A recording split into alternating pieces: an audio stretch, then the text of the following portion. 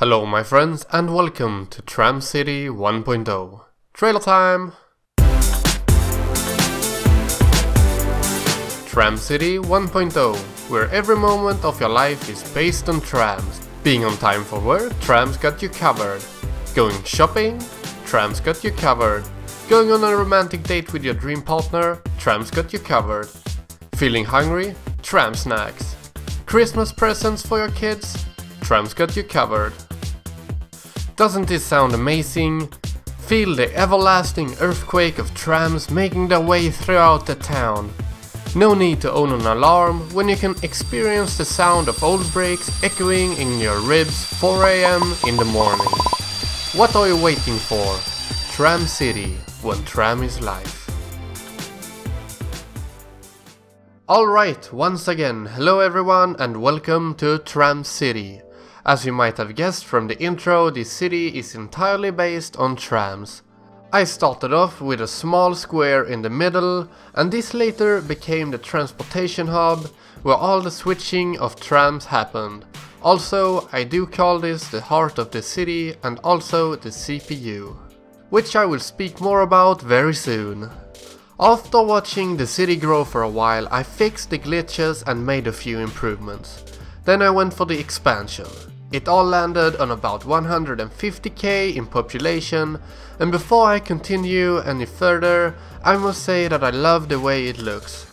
It reminds me a lot of a computer, CPU in the middle and everything else is the motherboard. The tram tracks are then connected to everything. The people in the city is basically like the data or electrons flowing around in a computer. The CPU handles all the number crunching and switching of data, people, trams throughout the city. Guys, just a quick break here in the middle of this. Just want to tell you that as usual the save is in the description available for download. Now back to the video again. So before going any further and covering all the numbers, I just wanted to tell you guys that this is not even its final form. There are some issues with the bandwidth of the CPU or heart of the city, in other words, there needs to be more lanes to transfer all the data or people. So as soon as I'm done with a few other projects, I will design and make the upgraded version of this tram city. With more people, more capacity and best of all, more tram snacks. Now in the end, this city managed to support 150,000 people on average, around 6500 commuting by trams every week.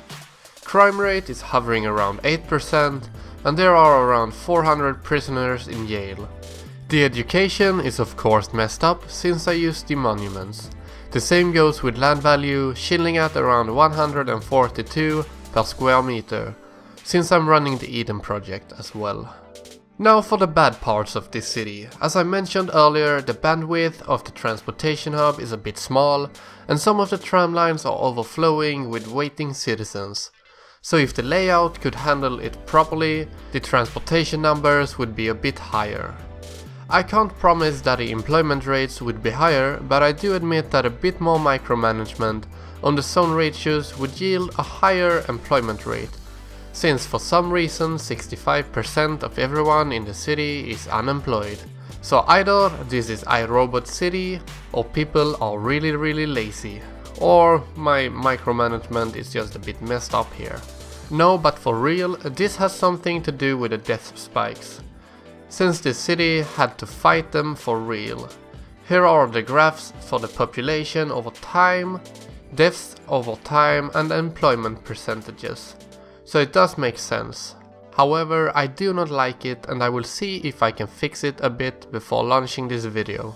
So moving on, when building this I realized that I have not played around with the trams a lot, so I had to make some changes accordingly throughout the making of this map. Overall, I'm happy with the results, though I really want to remake it on a larger scale, which I will do once the time allows for it. So once again, thanks a lot everyone for watching, I will now roll the time lapses for when I built the city, combined with some music. As always, have a nice day and I will see you in my next video. If you want to check out a crazy city based on only trains, if you haven't seen it before, then click this little box up in the right. it will take you directly to Train City 3.0, which is one of my old cities. Now I promise, that's all for this video, like, subscribe and all that, and bye!